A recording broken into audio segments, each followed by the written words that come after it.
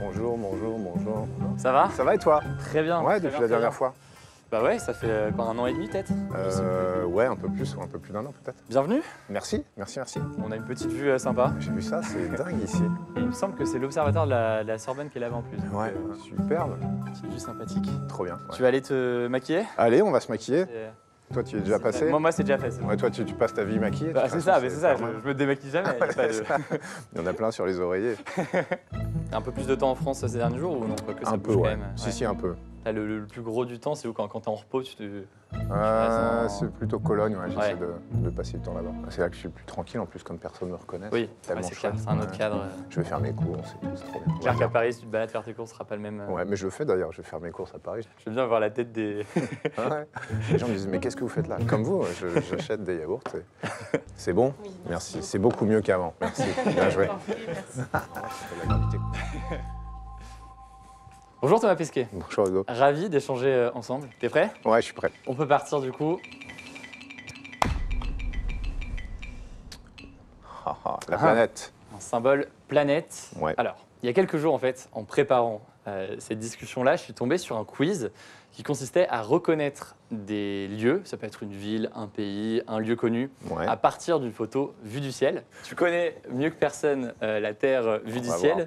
Je te propose qu'on essaie de jouer ensemble. Ok, En 60 secondes, tu vas essayer d'en trouver un maximum. d'accord. Soit tu le trouves, si tu le trouves pas, tu peux dire passe, et il y en aura d'autres derrière, et on va essayer de voir combien tu peux euh, en trouver. Ok, T'es prêt? Ouais, c'est parti. C'est parti. Allez, bon, à Paris, Arc de Triomphe. Très bien. facile. Euh, Ça, c'est. euh, Est-ce que c'est l'embouchure de la Méditerranée avec euh, ouais, ouais, Détroit de Gibraltar. des trois Gibraltar Ok, là, on a les pyramides. euh, Enfin, c'est le Ouais. Caire avec les pyramides. Avec le Nil aussi. Là, Mont-Saint-Michel, facile. Exactement. Euh, ça, hmm, ouais, ça je sais pas, ça ressemble un peu peut-être à l'Amérique du Sud, mais je sais pas. Ouais, c'est. c'est c'est la- suivante. Euh, la suivante, écoute, ça c'est de nuit. Ah, c'est la Corée du Nord, la Corée du Sud. Exactement. Séoul qui est là et Pyongyang, la petite tache. La différence des- d'éclairage qu'on voit. Ouais. La suivante. La suivante, c'est le Palm Jumeirah, c'est Dubaï. La suivante. La suivante, ça c'est Rouen, je crois. Oui, très bien. Ça t'évoque quelque chose. Ouais, ça c'est la botte, l'Italie, il y a Rome, Naples, euh, les Pouilles. Celle-ci, peut-être un peu plus compliquée. Oula, celle-ci c'est un peu chaud. Paysage de montagne. Ah, muraille de Chine peut-être Ouais, exactement. Ouais. Très fort. Parfait pour l'instant. Ok, ici, qu'est-ce qu'on a? Ouais, non, ça, je sais pas, je dirais Asie du Sud-Est. Ouais, euh, c'est- le. Japon. Et une dernière peut-être euh, ici. Ouf, ça, je dirais dans les, dans les pays qui finissent en stan, enfin dans les Ouais. hautes, euh, dans le Kyrgyzstan, etc. Exactement. Et effectivement, la dernière photo, celle qu'on voit ici, c'est la mer d'Aral. Et c'est une photo, donc là il y avait un petit piège, c'est une photo qui date de 2000. Je précise du coup 2000 parce que effectivement aujourd'hui, Ça ressemble pas du tout à ça. ça ressemble pas du tout à ça. Ça ressemble plutôt à ça. Ouais. On voit la différence frappante en, en une vingtaine d'années. Mhm. Euh, pour le contexte, à l'époque, c'était le quatrième plus grand lac de la planète, sauf que les autorités ont détourné une partie euh, des fleuves pour irriguer leur culture, et donc ont privé ce lac euh, d'eau. Est-ce que tu as pu voir de ton côté les conséquences de l'activité humaine sur, sur la planète? Ouais, on voit ça, ouais. on voit la pollution, on voit la pollution des rivières, des embouchures des grandes villes, on voit la pollution de l'air, on voit les, les coupes dans la forêt amazonienne. Surtout, ce qu'on voit, moi je trouve, c'est les, les phénomènes climatiques extrêmes qui se renforcent. hein. Tous les étés, on a des méga feux. Euh, alors, c'est pas forcément toujours en France, heureusement, mais c'est en Méditerranée, c'est au, Au Canada, cet été, ouais. Et ça, clairement, ça augmente et tu le vois à l'œil nu et c'est super impressionnant. Et on est parfois même activé dans la station spatiale par le centre de contrôle quand il y a une catastrophe quelque part et que euh, on peut avoir bah, une, une orbite qui va nous la faire survoler et que ça peut peut-être aider les services de secours au sol ou les gens qui ont envie de comprendre ce qui se passe ou qui ont envie d'aider.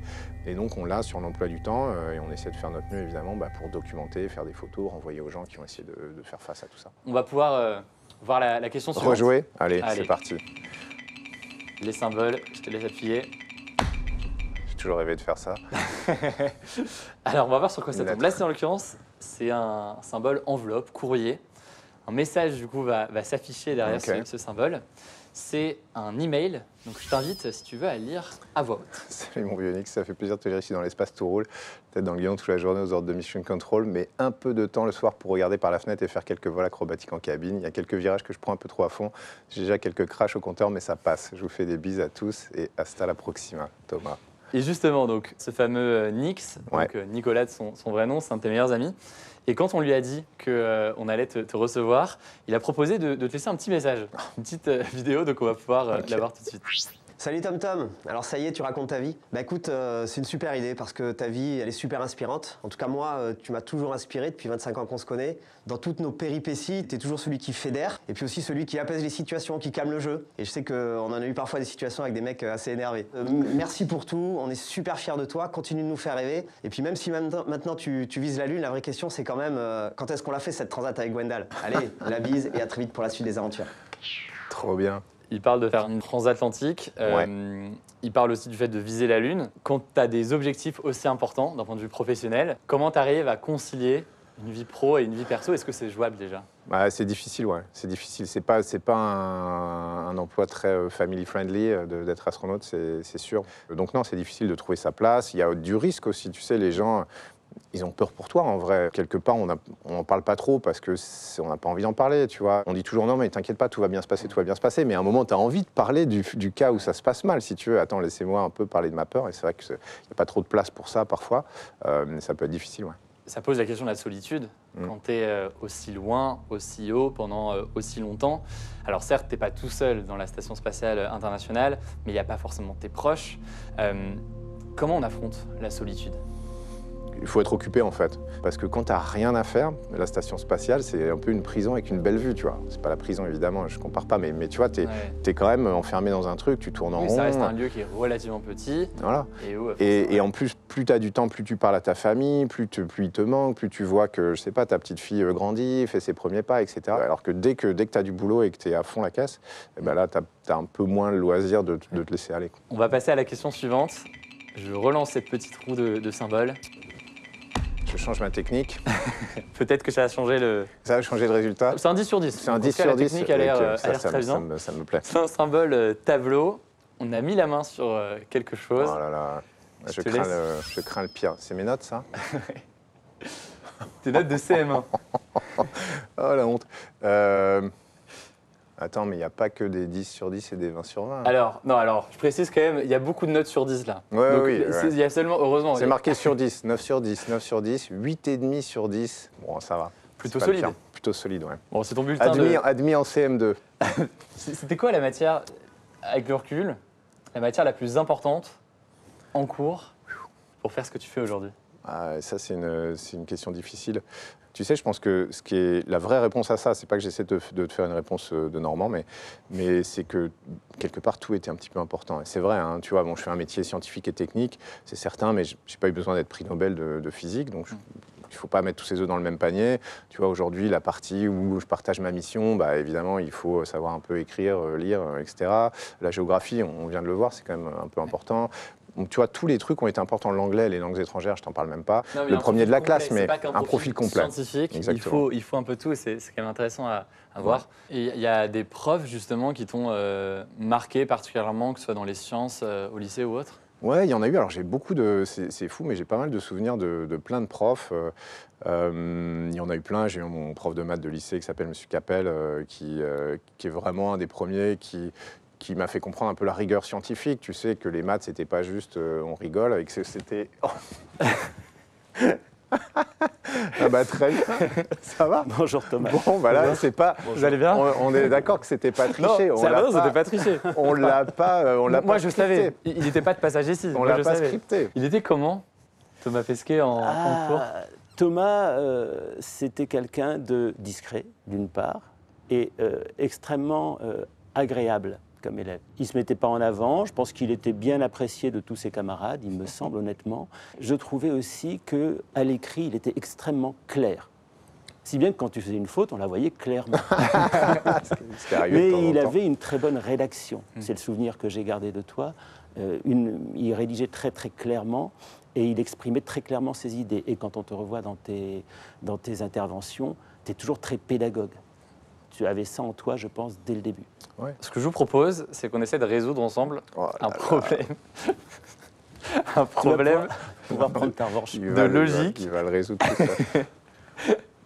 Oh, oh. On a un tableau et on a, tout ça est très bien fait, des ardoises. Toi, tu as une table numérique, mais tu as des ardoises. en fait, c'est ça. C'est le- vraiment, on joue sur tous les tableaux. plus de budget à la Littéralement, fin, Tous les ça tableaux, oui. Si Thomas, tu veux lire l'énoncé peut-être pour. euh, Ouais. On a cinq fusées, A, B, C, D, E, ok, se dirigent vers Mars à des vitesses différentes et constantes. Quelle fusée arrive la première? Bon, ça la fusée A voyage à une vitesse deux fois inférieure à celle de la fusée B. La fusée B, une vitesse égale à la somme des vitesses des fusées B plus E. La fusée C trois fois inférieure à celle de la fusée B. Et la fusée D voyage à une vitesse quatre fois inférieure à celle de la fusée E. Et la fusée E, une vitesse inférieure à celle de la fusée A. On, on voit les calculs. Alors, en fait, je cherche à voir si tout de suite, rien qu'en lisant le, Oui. le raisonnement, on voit la plus rapide. Donc je vois que A, A, euh, A est moins rapide que B. Donc pour l'instant, B, c'est la plus rapide. B est aussi plus rapide que D. et Ouais. E. Donc pour l'instant, B, c'est toujours Ouais. la plus rapide. C est trois fois inférieure à celle de la fusée B. oui. c'est bon, B reste bon. Plus rapide. D, quatre fois inférieur à E.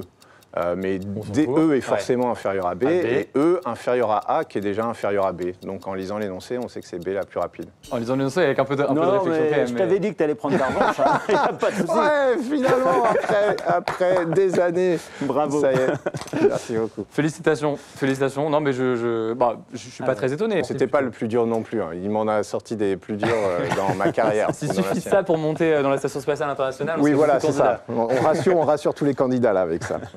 Euh, merci beaucoup, Monsieur Capel. Merci Bah, d'avoir tout le accepté plaisir de, pour moi. de venir. C'était Merci. génial. Merci. Thomas.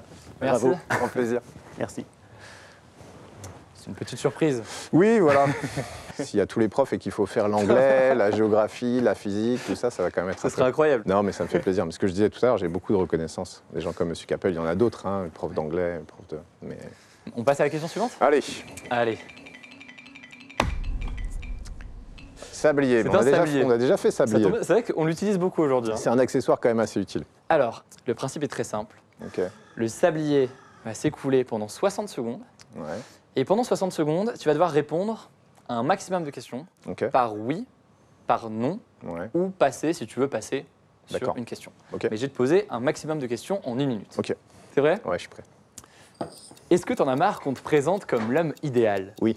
Si tu n'avais pas été astronaute, est-ce que tu serais resté pilote de ligne Sans doute. Est-ce que ça sent bon dans l'ISS Non. Est-ce que tu es déjà tombé malade dans l'espace Non. Tu crois aux extraterrestres pff, Oui, mais il faut développer. Et l'astrologie, est-ce que tu y crois Pas du tout. Marcher sur la Lune, est-ce que c'est un objectif Oui. L'argent fait-il le bonheur Non. Est-ce que tu es optimiste pour l'avenir Oui. T'étais bon en art plastique à l'école? Non. On a trouvé une faille. Ça t'angoisse le temps qui passe? Pas encore. Être astronaute et avoir une famille, est-ce que c'est compatible? Non. Six mois à bord de l'ISS, est-ce que ça te semblait long? Non. Tu prends des stagiaires avec toi dans l'ISS Non. Être astronaute et écolo, est-ce que c'est possible? Oui. Est-ce que le chinois, c'est plus dur à apprendre que le russe? Oui. Le Mont Saint-Michel, c'est en Normandie? Oui. On ira sur Mars un jour? Oui. Et dernière question, un chinois sur la Lune, est-ce que c'est possible un jour? Oui. Et j'ai- Eh. épuisé toutes les questions.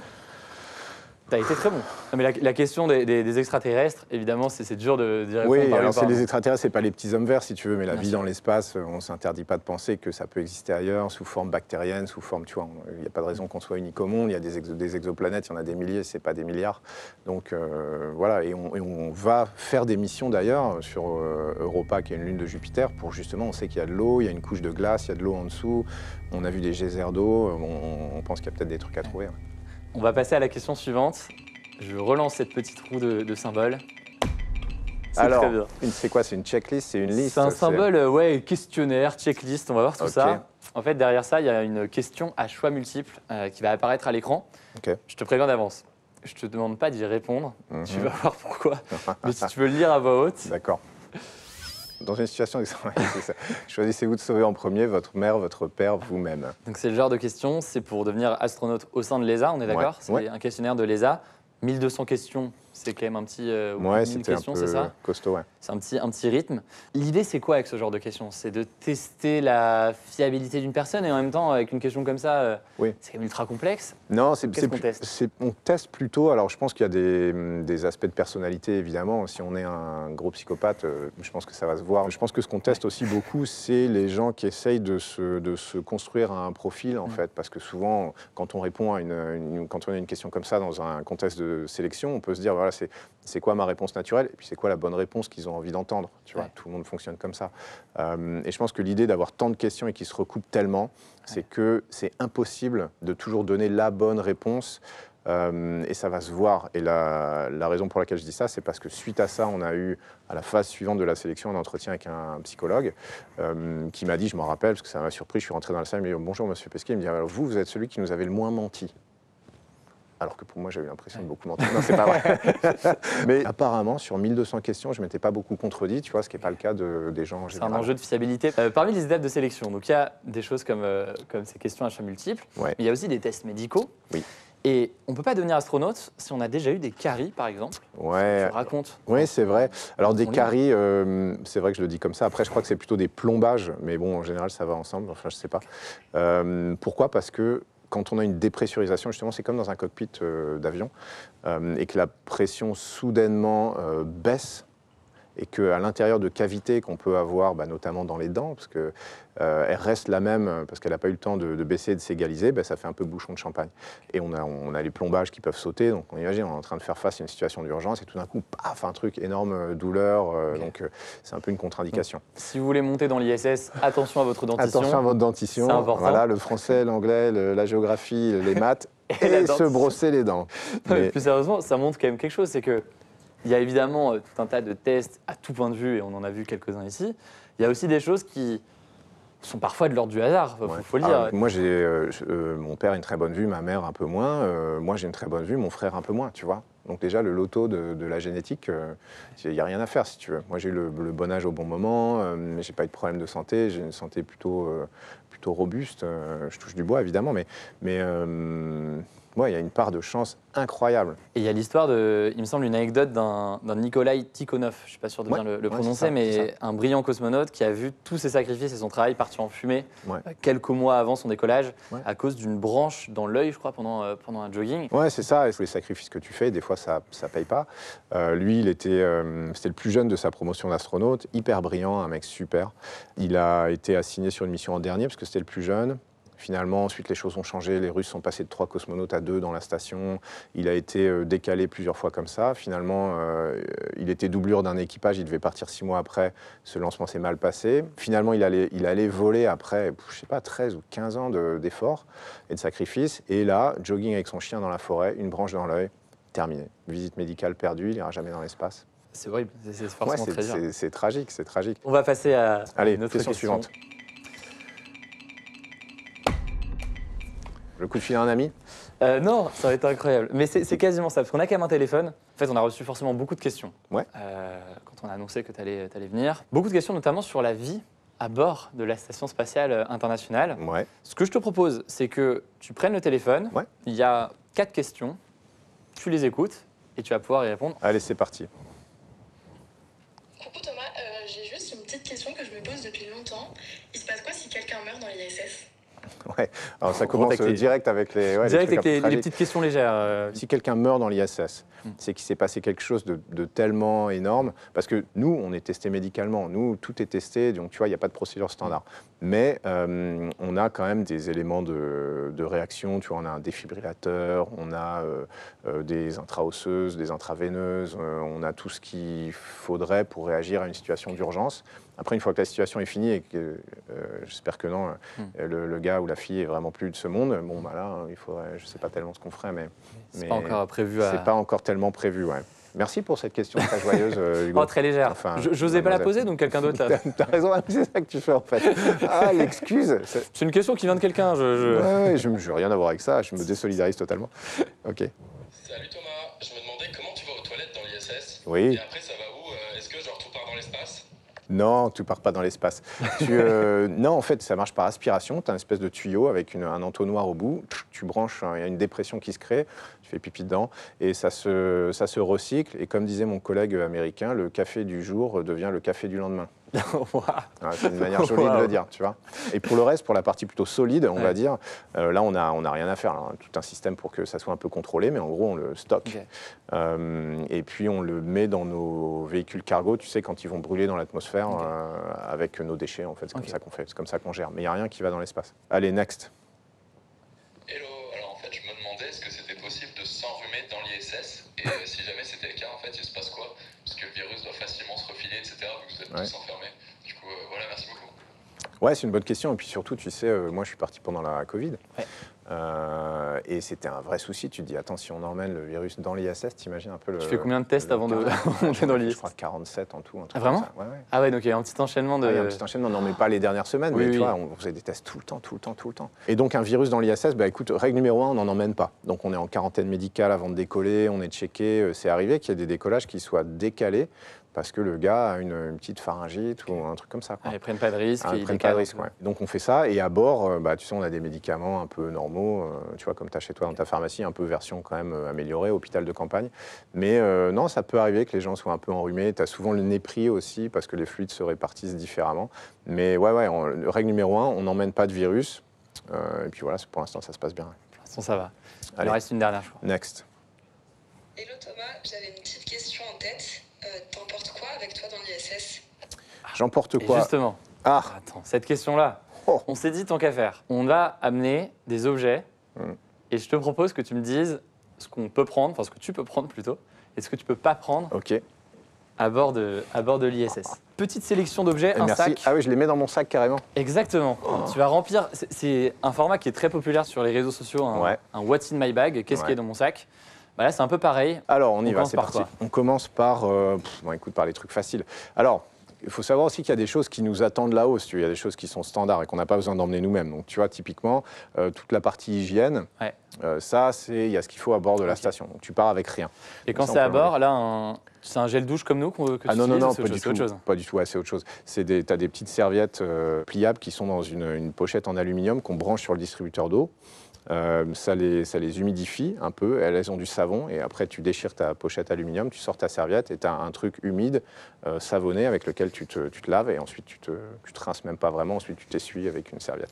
Ça, Voilà. on prend pas. Donc ça, on prend pas. Tu te brosses les dents, mais tu, bah, c'est pareil, tu peux pas cracher le dentifrice, donc tu t'avales le dentifrice, t'en mets un petit peu, tu te brosses les dents, puis après tu, tu bois un, un truc. Et voilà, c'est ta petite pastille de menthe euh, après dîner. Voilà, donc ça c'est bon.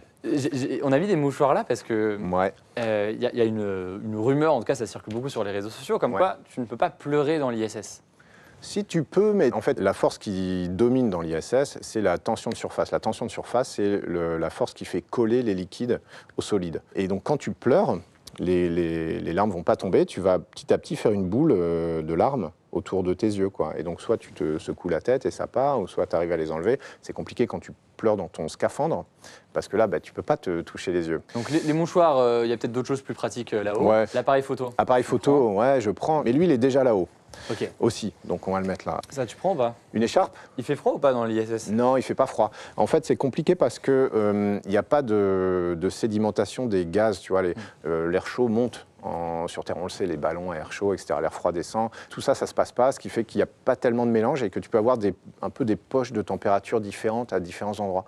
Et donc, on ventile en permanence pour que tout ça se mélange, mais quand même, moi, je trouve qu'il fait en général assez chaud et il n'y a, pas- il y a pas besoin de ça. On laisse. Bon, après, moi, j'étais en short tout le temps, mais Peggy, ma collègue, elle, elle était tout le temps avec cinq épaisseurs, tu vois. Donc, Ok, il y a donc aussi chacun des... son. Ouais, faut quand c'est des Italiens, ils ont froid. Quand c'est, tu vois, il y a un peu un truc comme ça. Euh, Préservatif. préservatif, non. Écoute, euh, enfin, je sais pas. euh, du moins, nous, dans notre équipage, on n'en a pas eu besoin.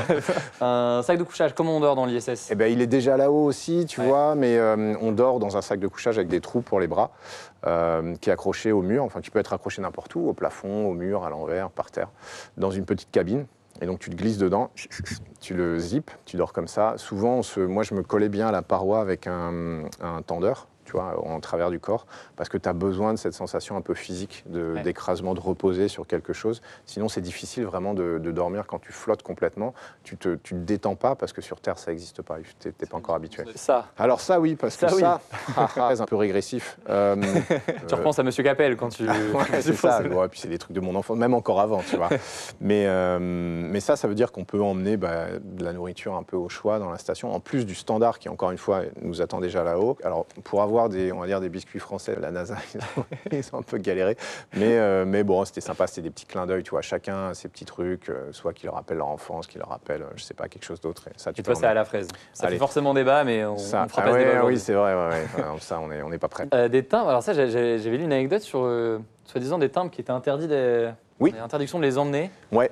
Parce Ouais, que ouais. Ça peut prendre de la valeur et certains avaient essayé de le, de le faire, Exactement, c'est l'émission Apollo, euh, je crois que c'est Apollo 15, Ouais. qui était une super mission. Et les gars, les pauvres, tous ceux dont on leur parle depuis toujours, depuis des dizaines d'années, c'est qu'ils ont emmené des timbres. J'en remets une couche aujourd'hui. C'est ça. Et oui, ils avaient emmené des timbres, euh, ils les avaient revendus à des collectionneurs pour une, une somme euh, qui était même pas super élevée, tu sais, à l'époque. Et depuis, il y a des règles qui disent qu'on n'a pas le droit d'emmener de- des devises, des timbres. Et chaque fois qu'on emmène un objet, par exemple pour nos proches, tu leur fais signer un papier disant qu'ils s'engagent à pas le vendre, que, que Ah ouais. tu le redonnes à la NASA après. Ouais. Très bien. Le, le Jules Le Verne, livre. Ouais, le Jules Verne, on l'emmène parce qu'il avait tout compris avant les autres. Alors on lit plutôt sur tablette, t'imagines, parce que si on s'emmène ça à chaque Ouais. fois dans l'espace. Mais avant, il y avait même une espèce de petite bibliothèque dans la station spatiale qui n'était pas grande, mais les gens qui emmenaient un bouquin ou deux, ils le laissaient. Et euh, tu avais une bibliothèque, mais je crois qu'on l'a acheté à la poubelle depuis, malheureusement. Mais on emmène. si tu retournes, tu iras mettre, euh, t'iras mettre celui-là, oui, un peu lourd. celui-ci, peu ou sur la Lune, qui sait, pourquoi pas. Une petite bibliothèque euh, comme ça sur la Lune où tu viens euh, déposer, reprendre un livre. Ton sac est prêt Mon sac à est prêt. repartir finalement. Allez, c'est parti. Ouais. repartir. Il faudra un tout petit peu plus que ça, mais bon, on va s'en Bah. occuper avec les agences. ça va aller. Merci beaucoup. Je t'en prie, avoir, euh, merci à toi, c'était top. À bientôt peut-être, et puis on te souhaite euh, le meilleur pour, pour la suite. On suivra tout ça. Merci. Allez, merci bon, beaucoup. merci beaucoup. Ouais, je t'en prie. Merci. Top. Super intéressant. Vous êtes venu juste pour ça alors? Et voilà. Oh là là. On a été un peu. Euh. T'as commencé à dire euh, Monsieur Capel, j'ai fait. Oh là là, j'ai- j'ai vu arriver, j'ai fait, c'est parfait. Toi, t'étais là, tu marchais sur l'eau. Imagine- J'avais des façons de le lancer, mais c'était un peu moins dit tout le naturel. monde sauf vraiment ce mec. Ah non, mais on- s'est- traumatisé. Hier, on s'est posé la question, on s'est dit, si je te lance sur les profs, tu me sors un truc en mode, non, pas, de- pas un prof particulièrement, pas de prof, et j'aurais dit, mince. Ah oui, après, faut J'aurais un peu ramé pour Après, refaire tu rames. Ah, bien qu'il y en ait aucun, il y en a quand même un qui est Il y en a quand même un, non Un seul. Ça commence par un C. Merci Non, beaucoup. hein. merci. Merci beaucoup. À bientôt. Ouais, merci. Merci beaucoup. Merci d'avoir pris le temps. Merci beaucoup. Salut. Au revoir.